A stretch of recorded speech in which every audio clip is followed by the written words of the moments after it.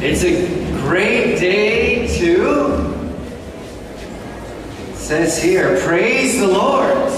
It's a great day to praise the Lord, walking in the light of the Lord. All three of these songs talk about saving, salvation, a strong tower. Run into a strong tower. You need to know some history. Why would you run to a tower? But in the old days, long time ago, in a city like the Red, Red Fort, Old City, it was a place of protection. It was a, it was a high tower, and the armies of the enemy could never get inside those. If they got close, arrows would come down, fiery oil would come down. It was a safe place. Earth is not a very nice place sometimes. Now, you guys are young. You believe in your mommy and daddy, you believe in your teachers, but once you get out, it's not a very nice place at times. In fact, I want to tell you a little bit about a time that was so bad on planet Earth that God said this. The Lord saw the wickedness of man that it was great. Every intent of the thoughts of his heart were on evil continually. It's like a bad movie. Everybody was evil. Darkness, there was no light, it was dark.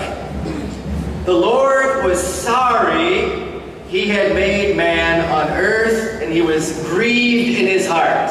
The creator of heaven and earth reached a point with you and I where he was very sad.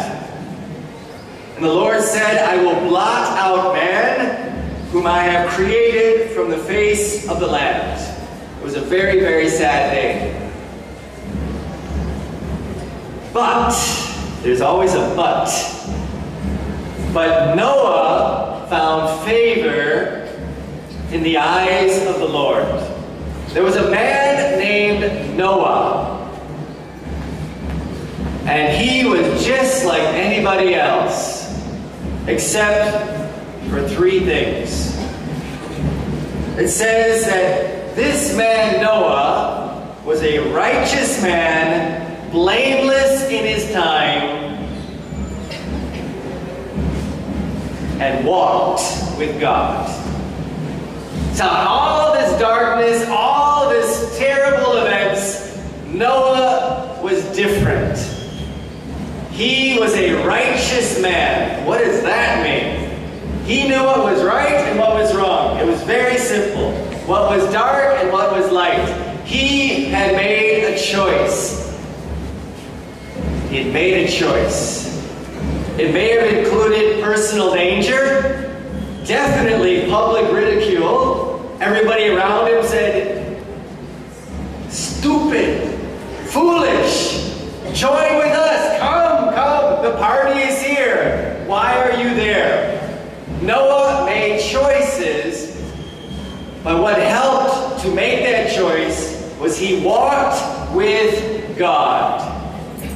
He walked with God. Who do you walk with? Who do you hold hands with in the park? Who do you run with? Who are you with? That is what decides much of your character.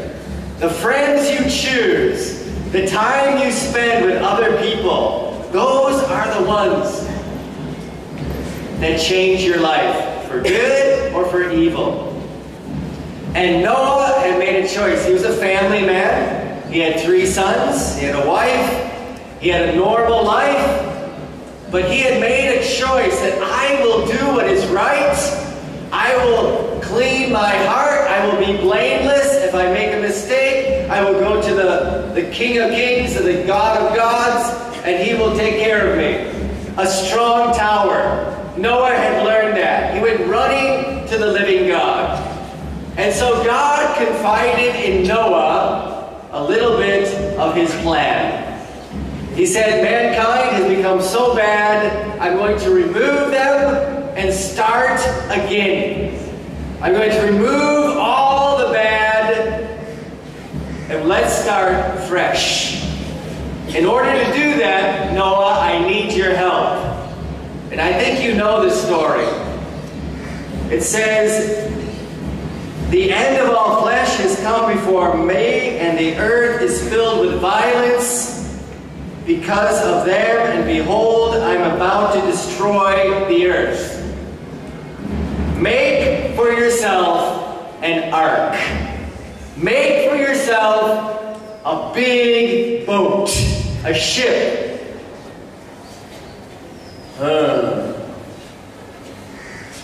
Interesting choice. Now Noah has to scratch his head. What's a boat? What's maybe he said that. He he didn't live on a coastal city. Build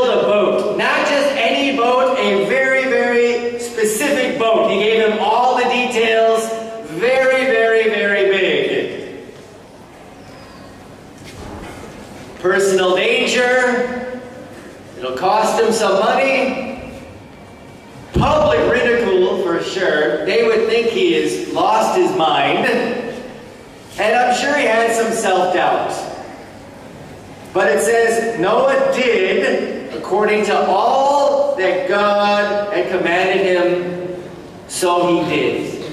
Noah had made choices when he was very small, when he got bigger. He was consistent. He walked with God. So he believed God. If God said it, I'll do it. Maybe his wife said, Are you sure?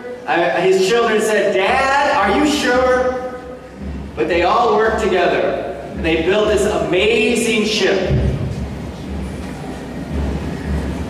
The surprise of the ship was it was being built where there was no water. And how were they going to take such a large ship and move it to the water? It was logically impossible.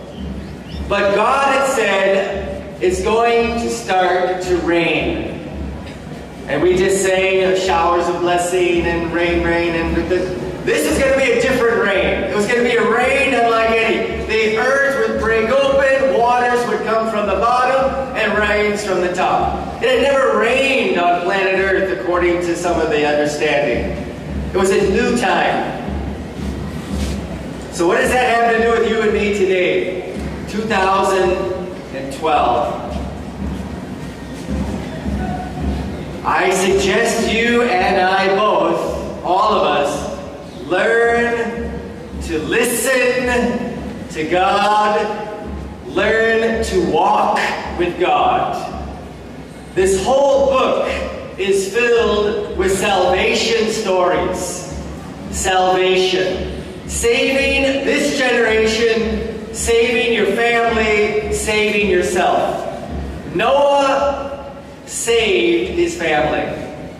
He did it, he built the boat, and they were saved. There's other stories. There's a woman named Esther. Fast forward thousands of years to a kingdom. A very, very ruthless man, a wicked man, had risen up to, to wipe out a whole people called Jews. One man, wicked, and he persuaded the king to make a law to say these people are dangerous, we need to kill them. And the king said, okay. Didn't do his research. He said, okay. Esther was a woman in the king's court who was a Jew. Shh, don't tell anybody.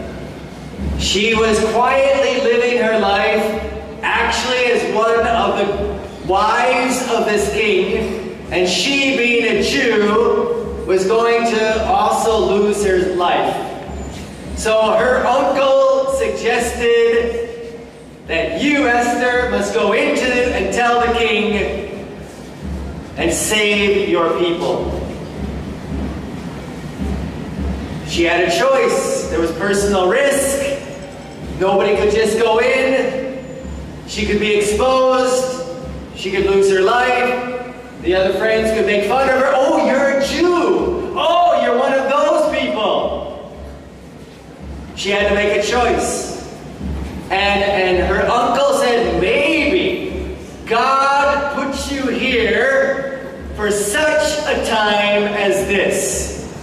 You are in Mount Carmel right now. You are young. You are learning. Maybe God put you here 2012 for such a time as this. That you will become a Savior. You will see something different. You will hear something different. You will be different. That is what God wants from you. Don't follow the herd. Don't follow the darkness. Come to the light. Walk, walk, walk in the light. Noah did it, Esther did it, and the Christmas story is filled with it. Mary and Joseph. You know those names? Mother Mary, Papa Joseph, whatever you want to call them. They had a similar dilemma. They were put situation where there was going to be public ridicule, self-doubt, what's happening, who are you, who am I, all those questions you will face in life. I'm telling you, God is ready for you. He's saying, come to me. Mary had a baby and she never spent time with Joseph. It was a miracle baby, and Joseph had a question mark. How is it possible? Mary had a question, how is it possible? But if you're doing it, it's possible. God is a God who saves. They named that child Jesus. They predicted it, it was prophesied, it was amazing. That is the God who you and I can know today. The same God of Noah, Esther, Mary, Joseph wants to be your God today. He is. Get to know Him. Listen to Him. That's why you are here. God has put you here for a short season of your life. You may never, ever have this time to hear God again. The key is, once you listen, what do you do? And like Noah, Noah did as he was asked to do. So if God says, come unto me, I'd say, let's come to him. If he says, let me take your burdens, I'd say, give him your burdens. If he says, cast your anxiety on me because I care for you, do it. Take all your worries. Take your concerns. Give them to Jesus. Because he's inviting you to do that. And your life will never be the same. I wish you much success. Enjoy the day and enjoy the weekend. Thank you.